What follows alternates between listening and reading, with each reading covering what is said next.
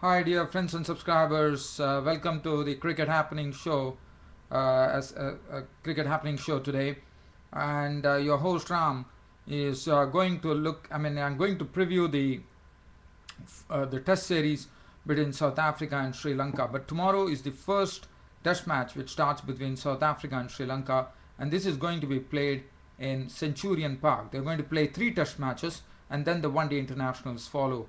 Now, as far as uh, now, look, just doing a preview of the South Africa Sri Lanka Test series. Now, as far as South Africa are concerned, South Africa are looking a very confident unit. Uh, they did well against Australia. Um, they have been having some uh, good time, no doubt about that. Uh, Graeme Smith has already hit form. Uh, Jacques Rudolph is in some. he has been in some very good domestic form. Uh, so uh, he will also be raring to go. Uh, there is South Africa definitely have the advantage of you know have playing on playing at home, and in South Africa there's a lot of bounce and a lot of pace. So that will be the key there. Uh, Hashim Amla, you know what a great player he is. He's uh, almost turning out to be a great player now. Uh, Jacques Kallis uh, one of those experienced blokes in the South African team. Uh, AB de Villiers is a wonderful player to have. He's a real asset to the team. And Ashwell Prince is absolutely test match material.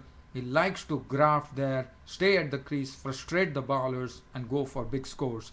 Mark Boucher, uh, the South Africans have actually uh, got their retained their faith in Mark Boucher. They have not gone for any reserve wicketkeeper. They have Mark Boucher. Uh, they have gone for experience. The Mark Boucher, the wicketkeeper, and he's also a very handy bat. Uh, in crisis times, he's always there. Uh, the bowling is the one which is South Africa. South Africa, if you know, they they they are balancing both batting as well as bowling. They are strong in all the departments of the game. Um, name it batting, bowling, or fielding. Uh, Vernon Philander the other day showed how he could swing the ball and he could, you know, he surprised the Australians with his uh, pace and movement there, and he picked up a lot of wickets. Uh, Dale Steyn, the express pace bowler, and he's the most experienced uh, of the pace attack there. Morne Morkel is a very, very uh, lethal combination. Dale Steyn with pace, Morne Morkel with his size, uh, with his pace and bounce, and Imran Tahir, the right arm leg spinner. And now, right arm leg spinner, how he goes, because normally uh, on um, uh, the South Africa, the Sri Lankans have been bred on lots of leg spin like India. So probably Imran Tahir might not be much of a proposition as far as Sri Lanka is concerned. But again, as you know, the South African pitchers have a lot of bounce, so Imran Tahir uh, might not be so easy to negotiate.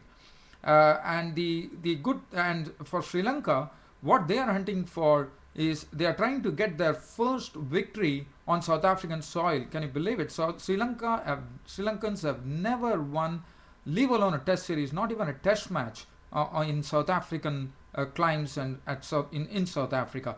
So that is what uh, Sri Lanka would like to do. For them, there is a real goal there. Tillakaratne Dilshan and his boys uh, would like to do that and make themselves really proud there.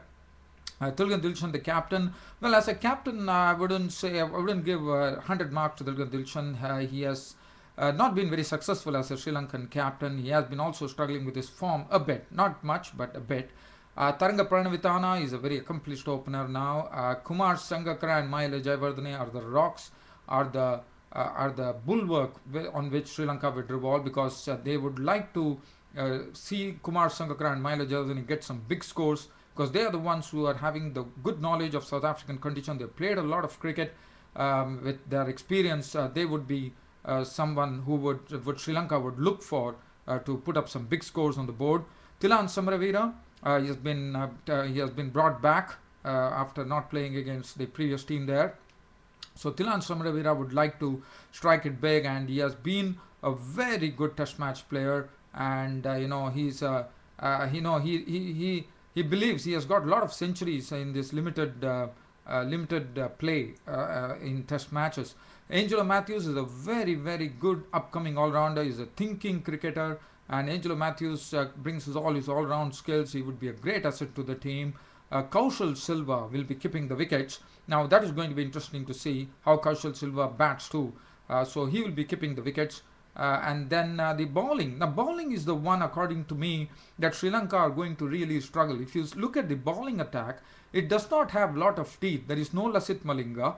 Uh, Dilhara Fernando is the most experienced, so that's the precise reason Dilhara Fernando has been given an opportunity because uh, he uh, is the most experienced of the pace bowlers. Now, Dilhara Fernando, you can't really rely on him, but definitely he can give the breakthrough.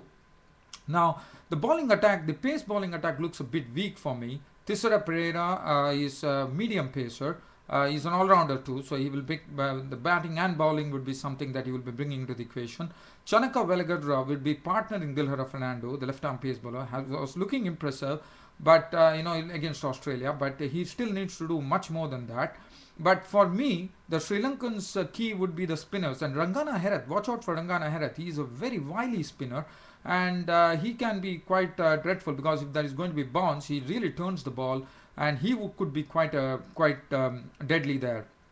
And uh, what is going to be seen is that how the uh, South Africans are going to play the uh, Sri Lankan spinners, especially Rangana Herath, according to me.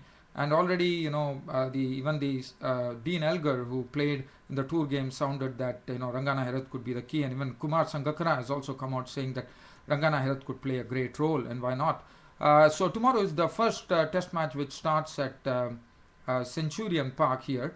And um, uh, it's going to be a greenish pitch uh, so it is going to be very interesting. South Africa on their homeland could be quite something. It's not easy to really handle them.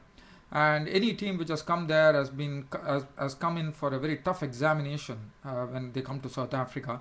Uh, it is mostly if you see Australia and South Africa are almost similar but pace and bounce would be the key now keeping that in view uh, I would uh, rather give the uh, give the uh, the the upper hand for South Africa not only due to home condition, not only due to their psychological record, and also they have a good record at the Centurion. They have lost just a single match, according to me. So uh, they have everything going for them. But as far as uh, Sri Lanka is concerned, well, as I said, they are hunting for their first test win ever in South Africa. Whether they will be able to get it, uh, we will know when this three test series finishes. But tomorrow, watch out for my report on the first day's play at Centurion Park between South Africa and uh, uh, Sri Lanka. So we are looking out for a good games, a good day's play tomorrow there, and hopefully we have a good start there. Uh, other than that, uh, dear fans, friends, and subscribers, uh, I, I don't have anything else to talk right now. Uh, I'm going to end up my cricket show for today, and I'll see you all tomorrow. Thank you.